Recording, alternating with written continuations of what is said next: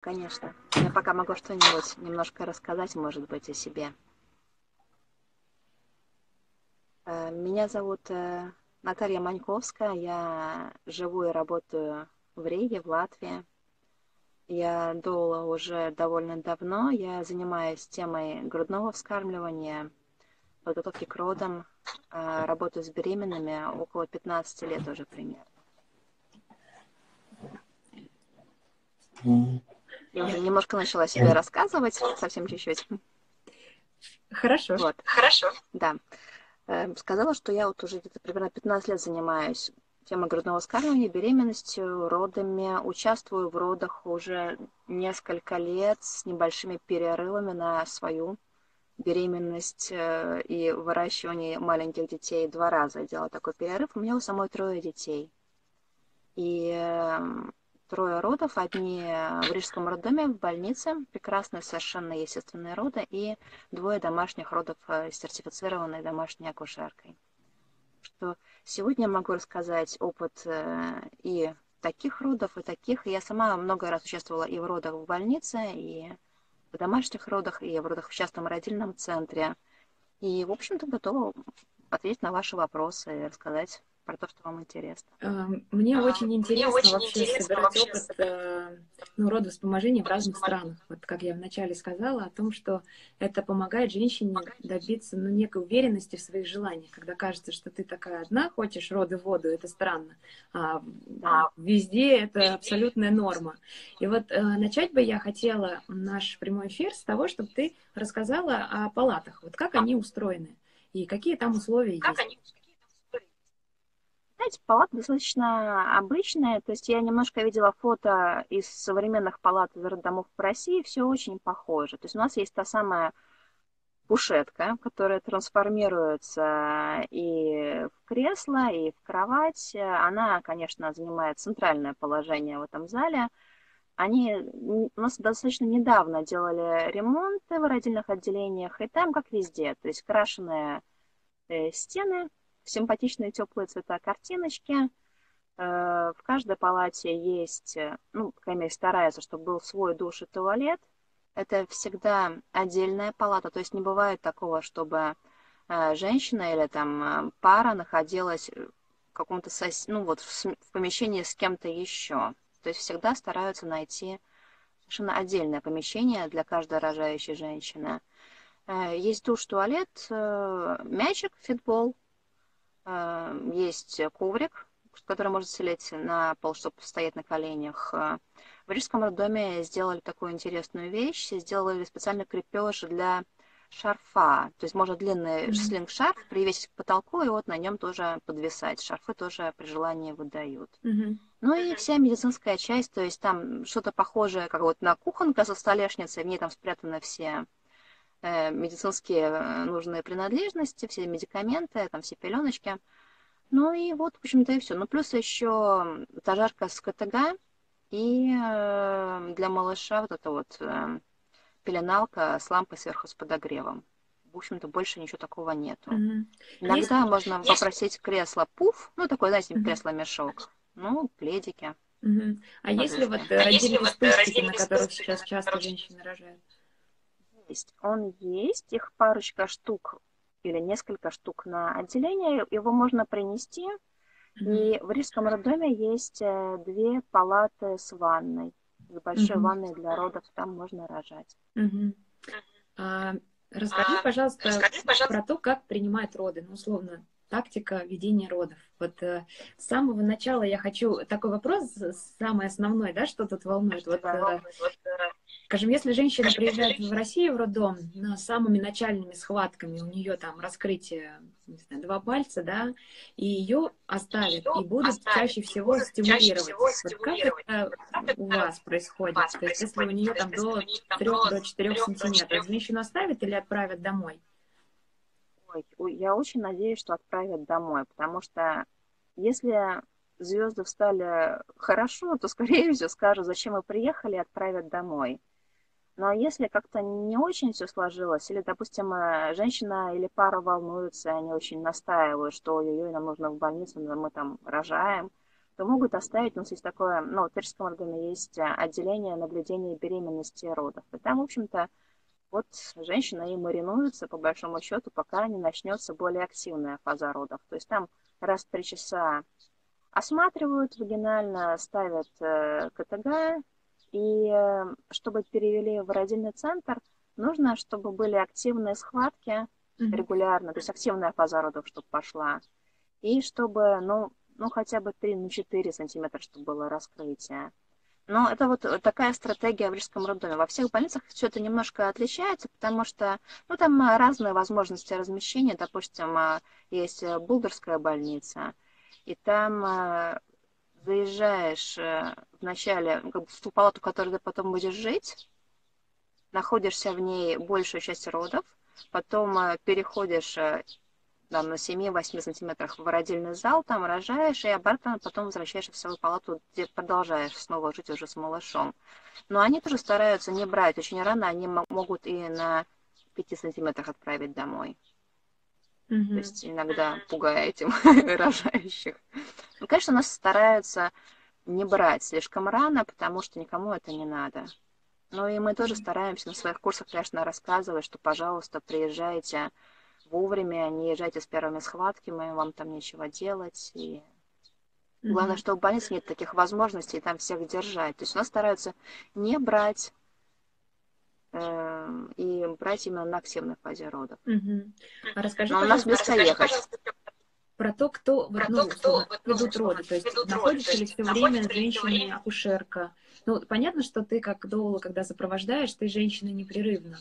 А вот, э, ну, расскажи подробнее, ну, как вот происходит, когда ты в родах?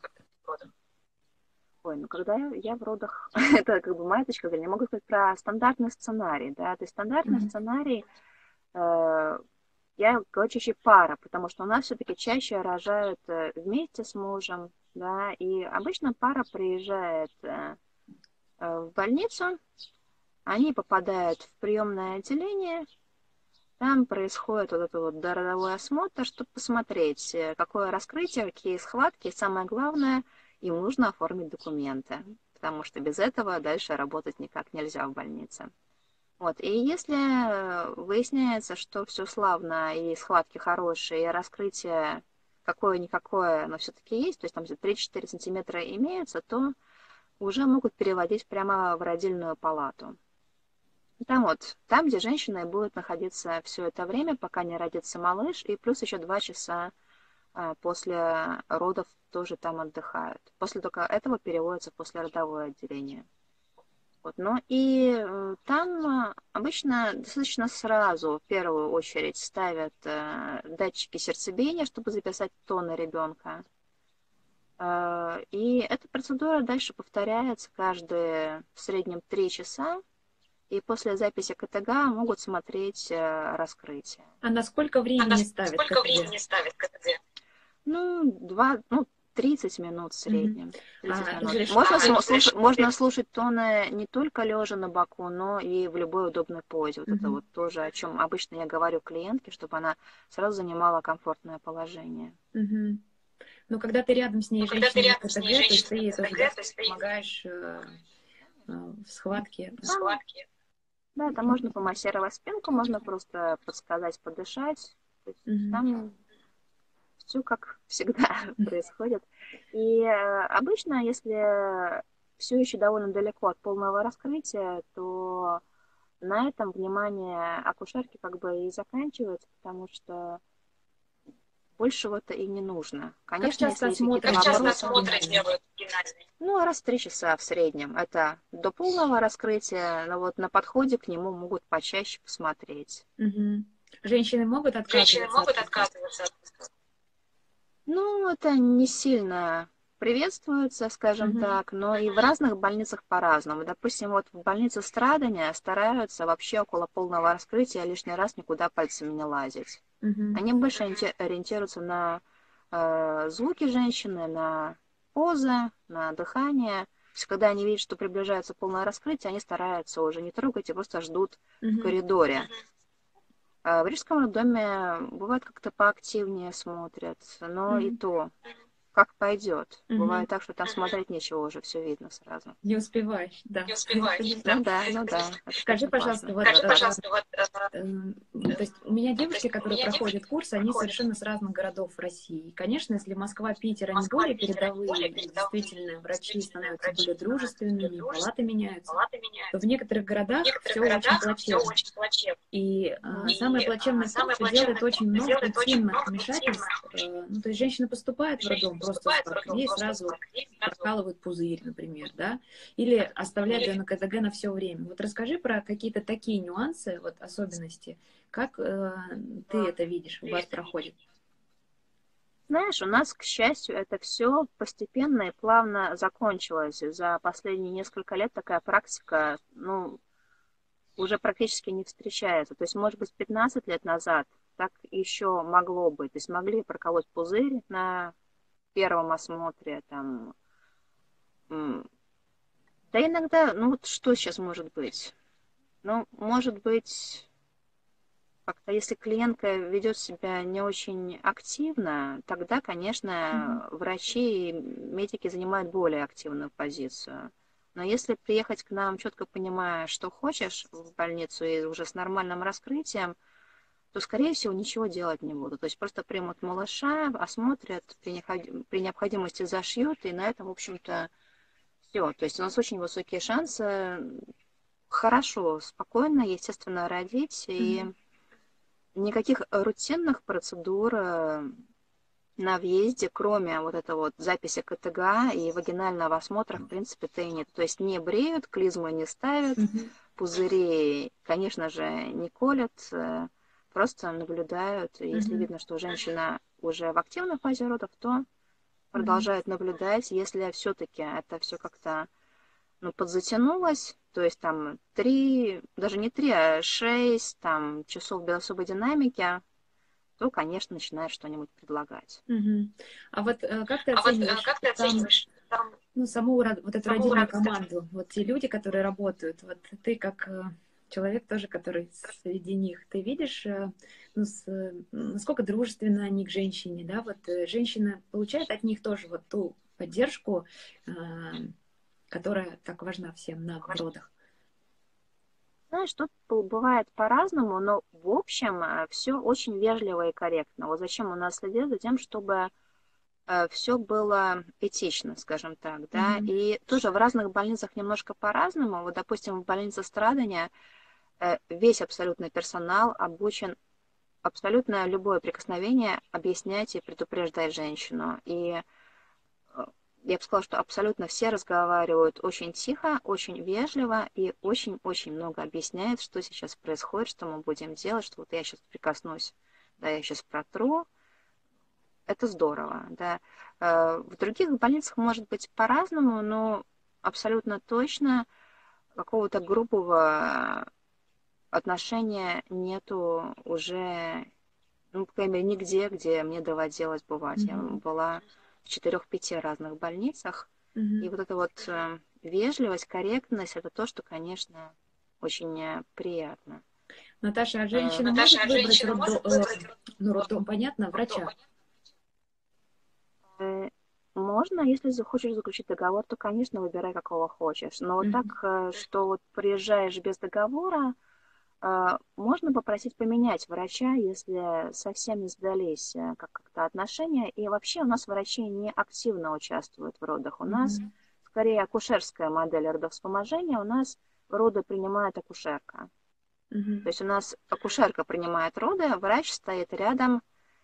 Если он там вообще есть, то он э, может как-то там направлять, что-то там говорить. Mm-hmm. И, в общем-то, в обычных э, родах врач может даже не появиться. Угу. А вот еще а конкретно про тактику ведения родов хотела бы у тебя узнать, как э, ведут потуги, потужной период, то есть это идет от женщины, ну, врачи немножечко могут, допустим, акушерки скорректировать, помочь, или это все-таки роды на спине?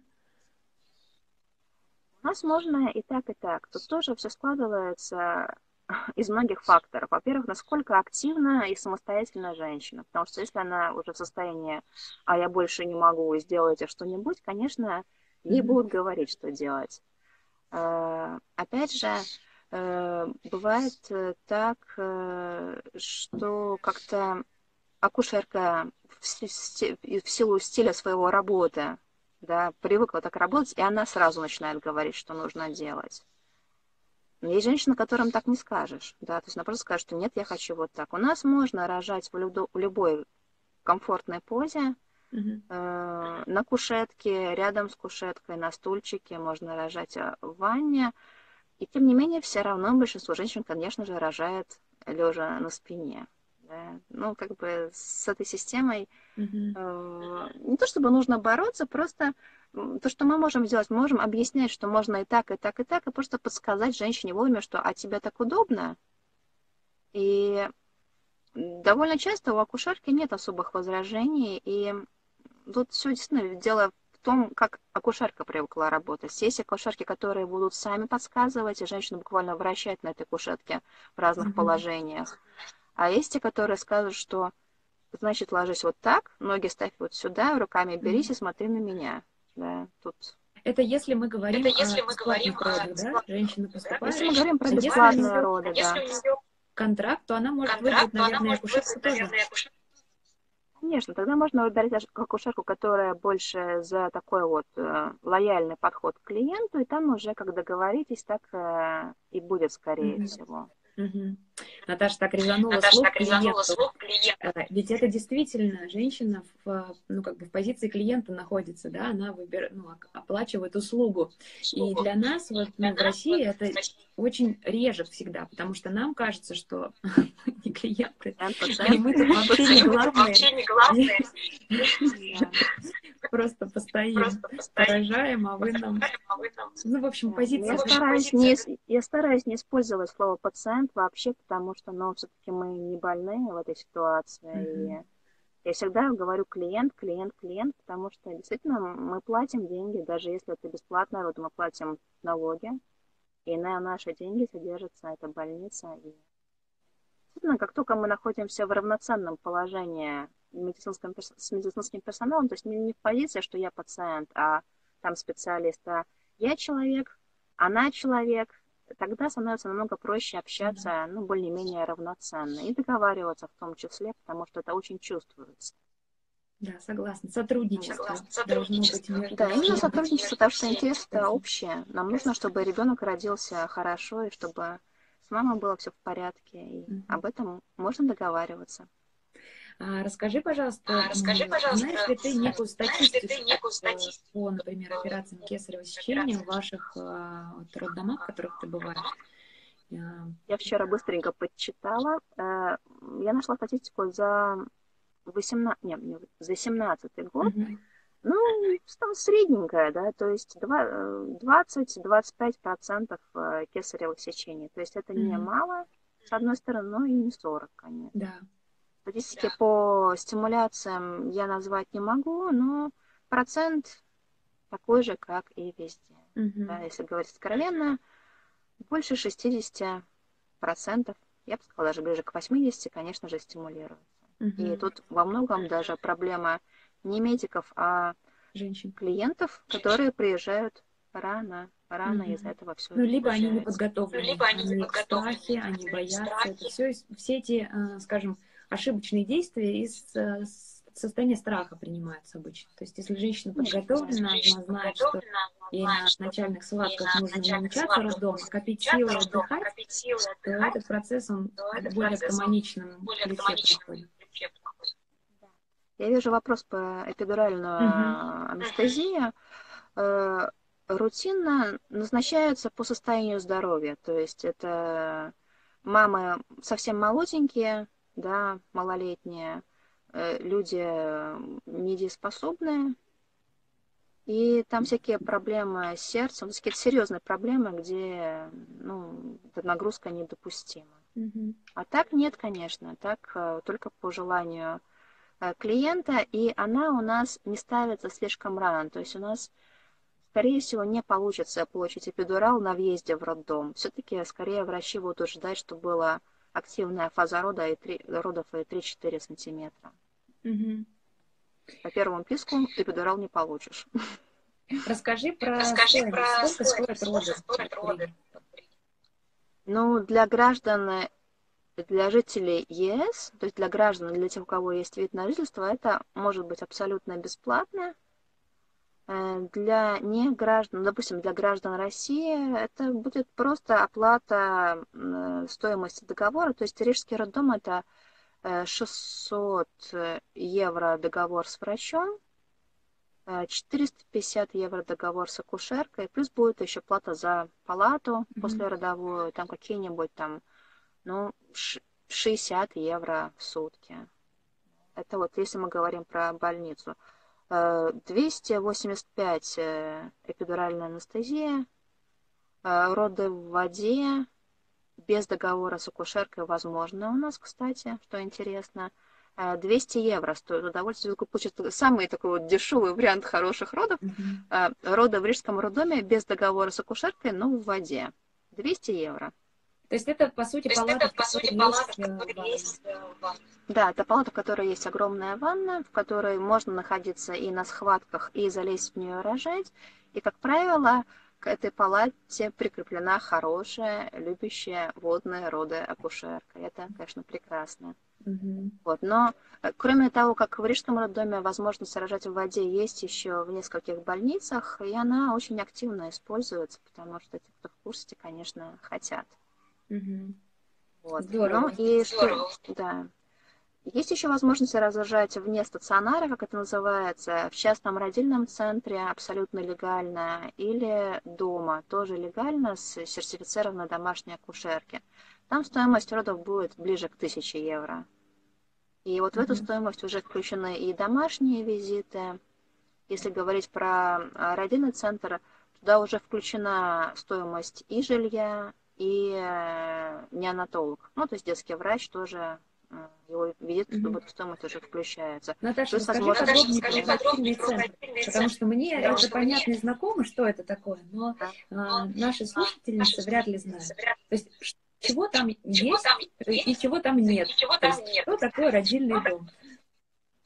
Там нет возможности сделать кесарево сечение и эпидурал. Там тоже не делают. Все остальное там можно получить, и там можно рожать, если ты как бы фактически находишься в низк, низкой группе риска. Э, это, если так абсолютно легально, фак, практически бывает так, что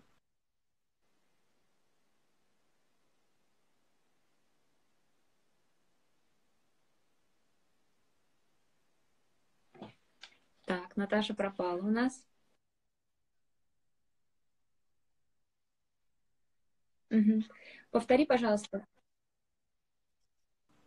А что именно вы пропустили? Вне группы риска Что... ты начала. Вне группы риска ты начала, потом пропал. Да, то есть э, в основном там рожают женщины с низкой группой риска. И э, принимает роды акушерка, э, врачей там нет, и она, в общем-то, занимается там э, э всем. Да, это это большой э, гостевой дом, который переделан под э, родильную клинику. Там, э, если не ошибаюсь, 5-6 комнат, где можно жить и где рожают. Большая ванная, где можно тоже рожать, и где рожает на самом деле большинство женщин. Очень большая часть женщин. И ну, что еще? Ну, дальше просто приезжаешь туда. Можно приехать даже пораньше, буквально с началом схваток, э, заселиться в свою комнату, а, пойти погулять. Там очень красиво вокруг. Это на природе. Очень красивая территория. Рядом красивый маленький городок, куда можно съездить пообедать, допустим, в кафе, пока идут схватки, если хочется. Можно никуда не ехать. Можно поспать, э, когда все пойдет поактивнее, также иногда записываются тоны, ну, хотя бы один раз нужно для документов на самом деле. Ну и дальше делаешь, что хочешь. Есть шарф, есть мяч, есть душ, есть ванна. Можно себе ни в чем не отказывать. Ну и когда приходит время рожать малыша, женщина решает, где она хочет, чтобы это было. Или в ванне, или у себя в комнате, в кровати, допустим. Или, не знаю, там, на полу. Или были даже случаи, где э, летом на улице. в бассейне.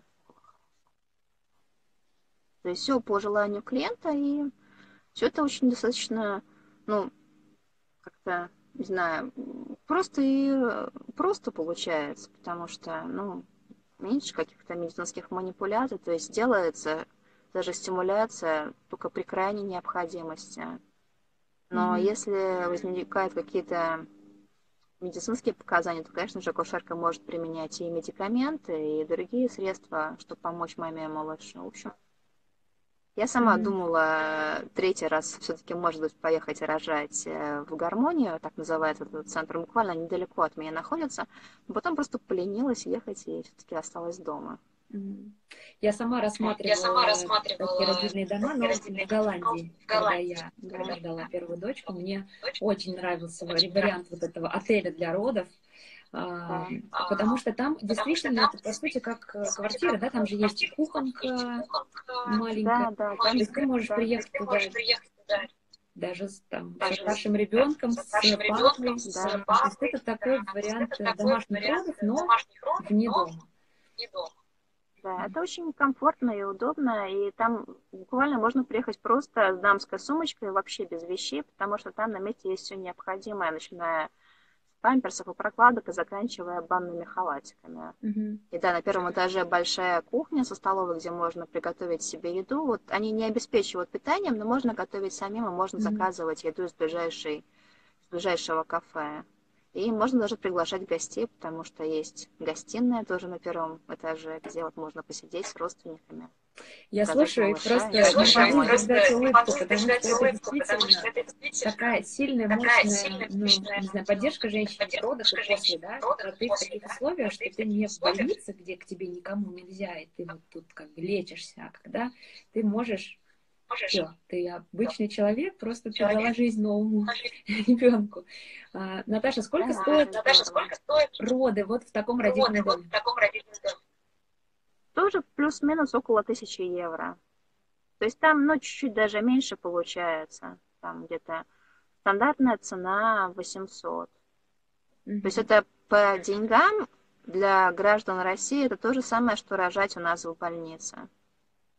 Mm-hmm. Конечно, уровень комфорта намного больше, и там действительно красиво. И вот у хозяйки этого центра, у Айи, у нее там около дома целый розовый сад. А если клиентка оставляет плаценту, она, вот саж... она ее закапывает у себя в саду и сверху сажает розовый куст. Там или какое-нибудь еще растение, и потом вот очень Когда рождается малыш, она вывешивает флаги, то есть там или мальчик, или девочка, чтобы все видели.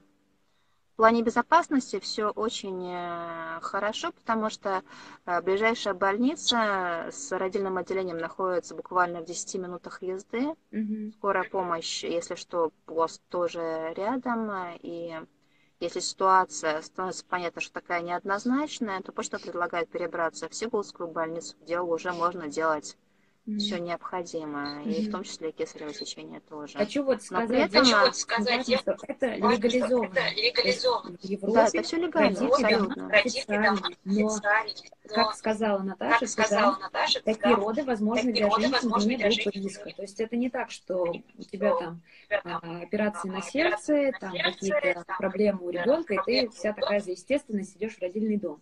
Включаем голову, то есть женщина вне группы риска, она здорова, у нее нет никаких предпосылок о том, что что-то произойдет у нее там.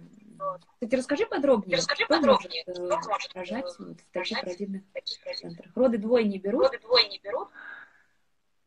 Ну, мне доводилось быть именно там, именно на родах двойня, и как бы, если у меня юридическое образование, но вот с точки зрения закона это было уже немножко за гранью, но под ответственностью женщины. Да, то есть, конечно, акушерка берет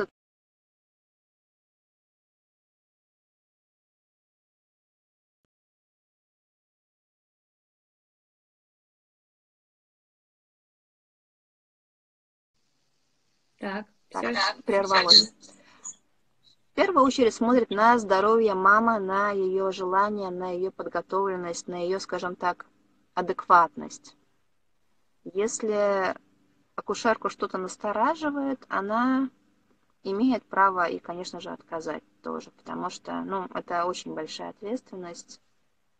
Э, каких-то страшных, печальных случаев э, там, в общем-то, насколько я знаю, не случалось. И процент э, переездов в стационар тоже очень небольшой, совсем мало. Угу. А, вот по поводу подготовленной, да, адекватной женщины, то, что акушерка ее ведет, то есть акушерка знает ее заранее, она встречаются, да, она проводит акушерские осмотры, да, она входит с ней в контакты, и потом с ней рожает. Так происходит? А, в идеале, да, но бывает так, что это было буквально 2-3 встречи, и на этом а, женщина рожает. Конечно, акушерке проще, если хотя бы часть беременности наблюдалась у нее, но, опять же, если видно по документам, что со здоровьем вроде бы все в порядке, там все нужные анализы видны, э, женщина вменяемо хочет и может, то все возможно. Угу. Наташа, вот вопрос как раз. Наташа, как вопрос как раз. Риска берет на себя такой ответственность.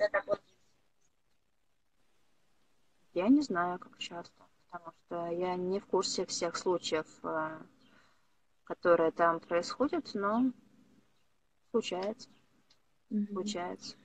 Расскажи теперь про домашние Расскажи теперь роды. про домашние роды. Там все то же самое, только дома. То есть там получается, что э, точно так же желательно хотя бы часть беременности э, наблюдать у акушерки, Хотя, опять же, не так давно у меня была одна клиентка из России, которая буквально за месяц до родов переехали жить в Латвию.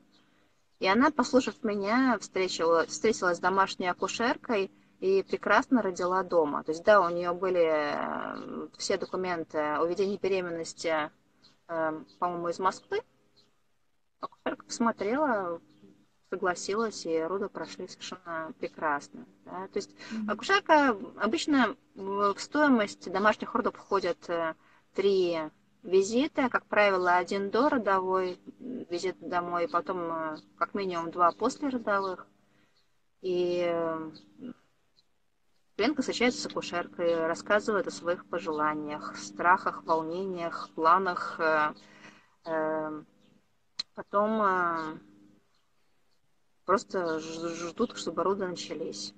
Все просто. Потом, все просто. Все, ну, все, на самом деле, не о чем рассказывать. Начинаются роды, э, начинаются схватки. Это, ну, конечно же, женщина находится на связи с акушеркой. И, э, если нужно, акушерка приедет, посмотрит. Если женщина волнуется, послушает сердечко малыша. Если видно, что там еще долго до рождения, она может отъехать по своим делам, чтобы вернуться потом ближе к более активной фазе. И находится рядом с женщиной э, все время, пока э, ребенок не родится, и еще mm-hmm. там как минимум 2, 3, 4 часа после рождения.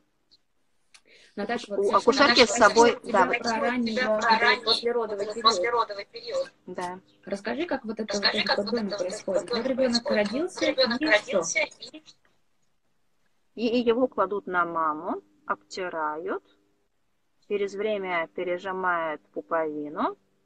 Иногда маме параллельно по больничному протоколу могут сделать укол окситоцина в бедро, чтобы стимулировать сокращение матки. И дальше мама держит малыша, обнимает, целует, все плачут от счастья, малыш укрыт одеялком. Акушерка проверяет живот, смотрит, чтобы сокращалась матка, просит потужиться, чтобы вышла плацента.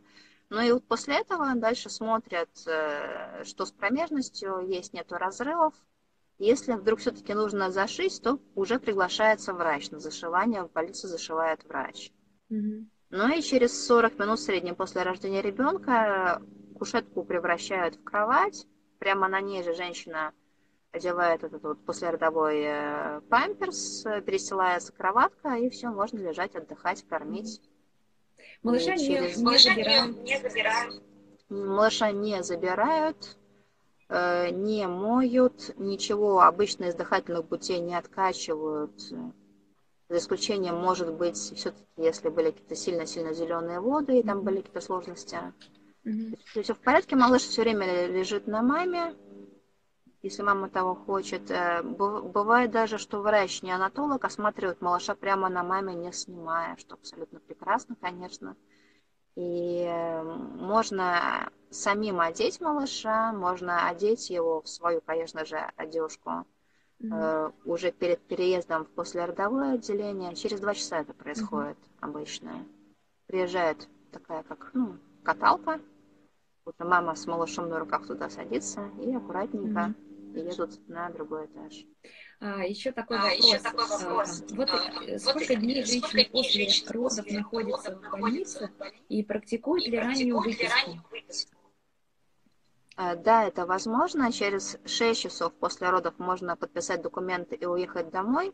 Это обычно не практикуется, потому что все боятся. Но это возможно. В общем, совершенно спокойно, будут только рады.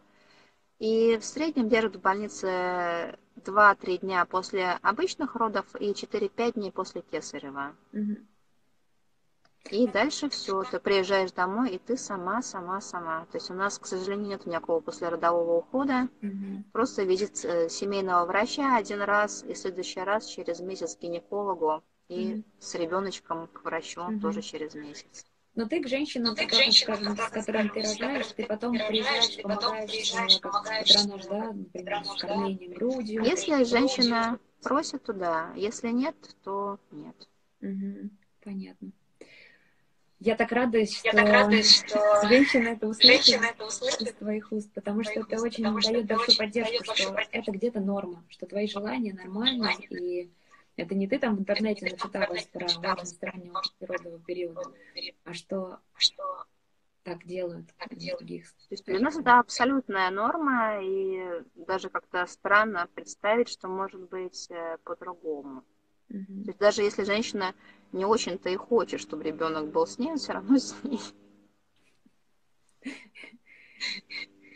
И те, кто нас слушает, Те, кто пишите, нас слушает вопросы. пишите вопросы. Может быть, Может мы сейчас ответим, сейчас пока ответим, у нас Я вижу вопрос, нужно ли после родов дома ехать в больницу на осмотр младенца. Нет, не нужно, потому что домой приезжает врач-неонатолог и осматривает ребенка на дому. Это должно быть в первые сутки после рождения малыша. Все анализы необходимы. Допустим, если у мамы отрицательный резус-фактор, да, то у ребенка берется анализ крови из пуповины, и это делает акушерка. В том числе и сбор стволовых клеток у нас сейчас тоже практикуется. Это тоже можно сделать и в больнице, и в родильном центре, и на дому. Это делает акушерка. Радость так. Мне кажется, после да, консультирования должны рассмотреть вариант э, родов в Латвии. По крайней мере, из России ехать э, недалеко, условия да. хорошие, хорошие, классная да, относительно недорого. Да. Э, тут есть возможность у ряда больниц э, Латвии оформлена возможность, эм, как называется, медицинского туризма, если я не ошибаюсь. Угу. То есть они могут оформлять приглашение для приезда на получение медицинских услуг в Латвию. И, если я не ошибаюсь, виза выдается даже на год в этом случае. Угу. Достаточно надолго. То есть э, вроде как бы приехать вот так вот просто и потом приехать в роддом, это может быть проблематично, но э, заказать визу таким образом и по приезду заключить договор с больницей очень даже mm-hmm. реально и довольно часто практикуется, по крайней мере, вот родильный центр «Гармония», а я этим регулярно занимается, и, mm-hmm. конечно же, это здорово и удобно. А за сколько времени до родов сколько времени до родов? Ты знаешь об этом? В среднем за месяц. И после еще где-то, месяц. Ну, как-то так, да. То есть получается, что нужно заботиться, конечно, жильем, да, ну, по деньгам сколько это? Ну, в среднем где-то 500 евро в месяц получается а, аренда симпатичного жилья. Mm-hmm. Многим нравится жить у моря, чтобы было красиво, тем более летом. Вот, ну и да. И довольно много я вижу девочек из России, которые просто, ну, семья переезжает жить к нам. Допустим, mm-hmm. муж работает удаленно, и ребята какое-то время, там, год-два, там, или несколько живут жительство у нас в Латвии. И я вот сейчас много таких вижу маму себя на занятия. Все более популярно. Здорово. Спасибо, Здорово. Наташа, Спасибо, за Наташа, то, что ты провела утро в моей компании, моей всех этих девушек, да, всех этих девушек поделилась. Э, поделилась. Э, может быть, повторим через какое-то время, через какое-то время, чтобы рассказать Огромным удовольствием. Мне да. очень понравилось да. и готова что-нибудь рассказать. А можно записать этот эфир, эфир? потому что у меня эфир? да. записи в Инстаграм не дает, можно просто запись экрана сделать. Угу.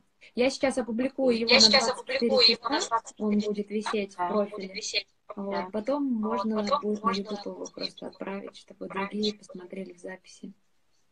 Хорошо, да. да. Спасибо большое. Спасибо всем, кто был Спасибо всем, на трансляции. Всем хорошего дня. Спасибо, Наташа, еще раз. Очень, очень была рада.